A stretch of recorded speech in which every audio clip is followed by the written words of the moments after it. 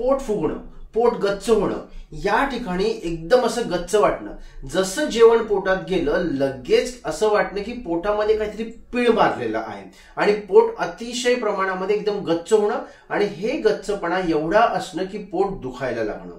त्याचबरोबर पोट साफ नाही झालं तर पोट गच्च होणं आणि पोट फुगणं. हे जर त्रास तुम्हाला असतील तर तुम्ही हा व्हिडिओ शेवटपर्यंत नक्की बघा. कारण या व्हिडिओमध्ये आम्ही या वर्षी सात उपाय सांगणार आहेत जे तुम्हाला नक्की त्याचा फायदा होऊ शकतो.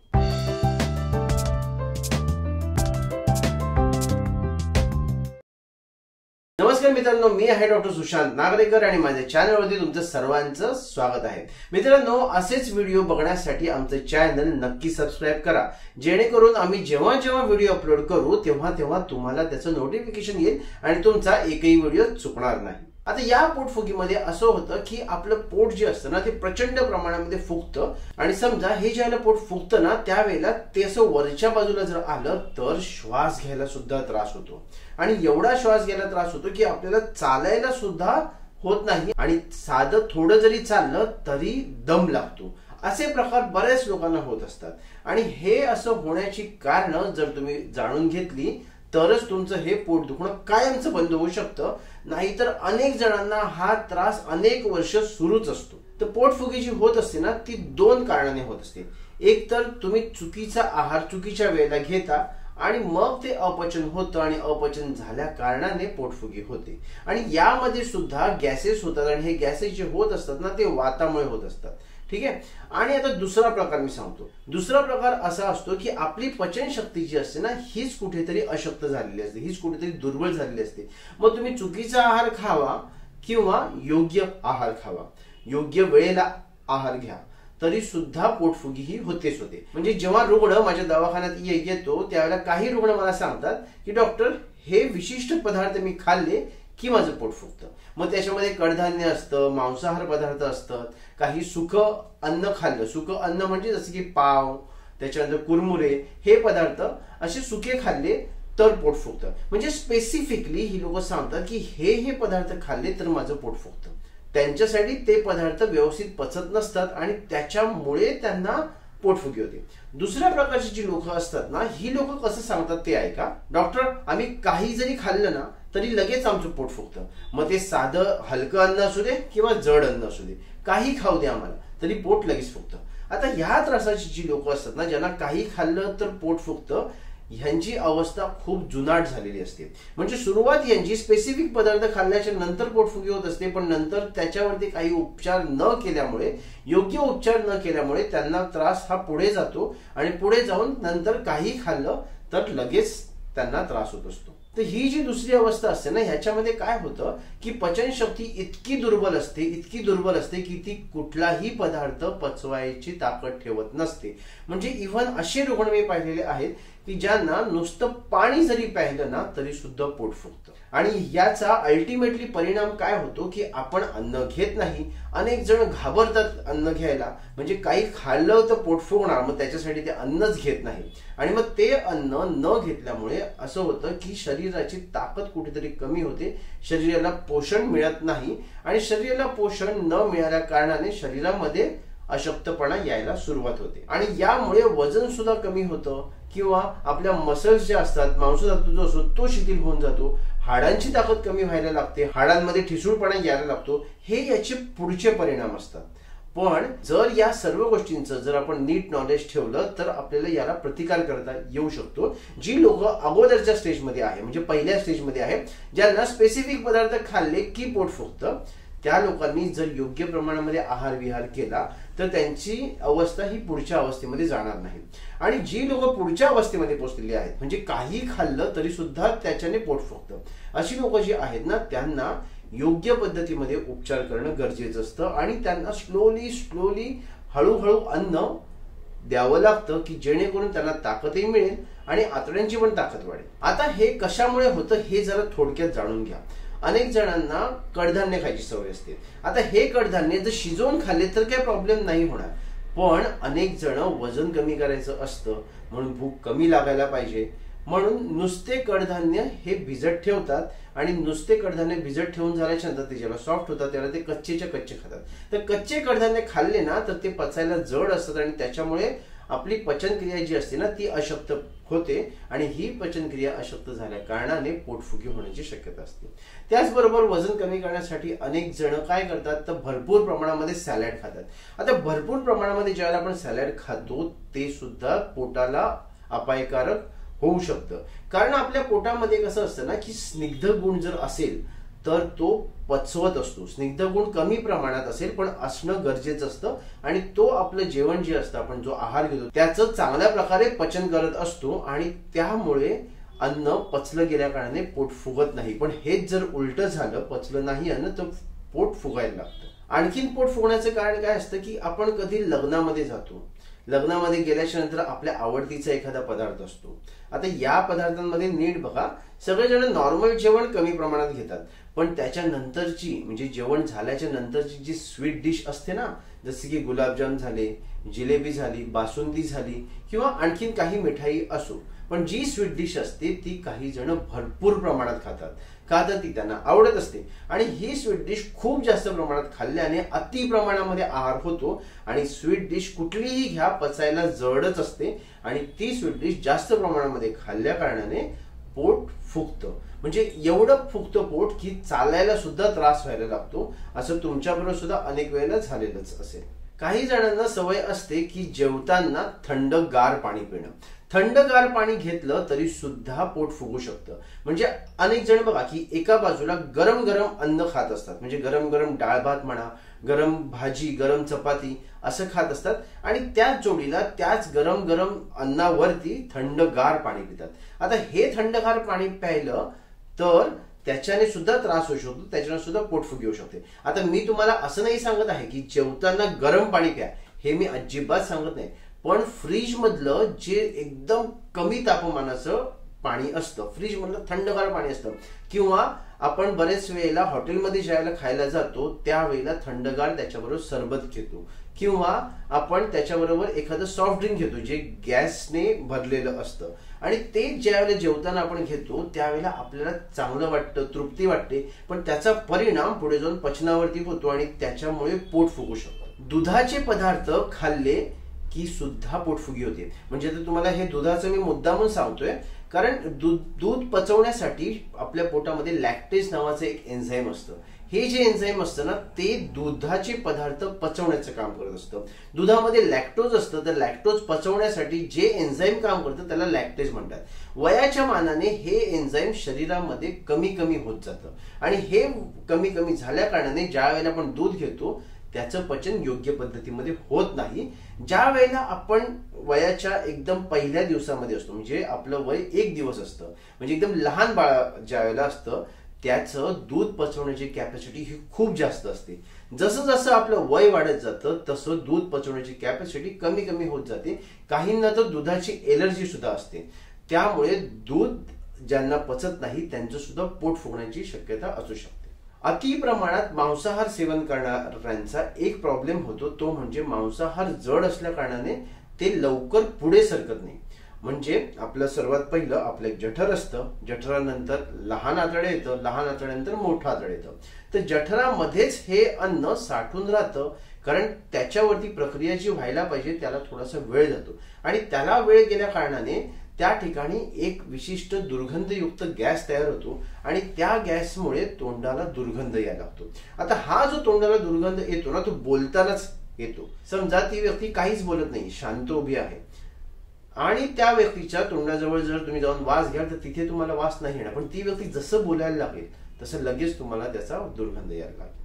आता आपण बघूया की कुठल्या सवयींमुळे पोट फुगण्याचा त्रास होऊ शकतो. म्हणजे कुठल्या सवयी म्हणजे खाण्याच्या अशा कुठल्या सवयी आहेत ज्याच्यामुळे पोट फुगतं? सर्वात पहिली सवय म्हणजे आपण बरेच वेळेला सगळे एकत्र जेवायला बसतो आणि जेवताना भरपूर बडबड करतो भरपूर गप्पा मारतो. गप्पा मारता मारता कोणतरी जोक मारतं आणि जोक मारल्याच्यानंतर आपण मोठ मोठ्याने हसायला लागतो. आणि त्यावेळेला असं होतं की त्या बोलण्यामुळे म्हणजे आपण आहार घेताना ज्यावेळेला बोलत असतो ना त्यावेळेला नकळत आपल्या मुखातून हवा आतमध्ये जाते आणि या हवा आतमध्ये गेलेल्या क्रियेला इंग्लिशमध्ये म्हणतात एरोफेजिया.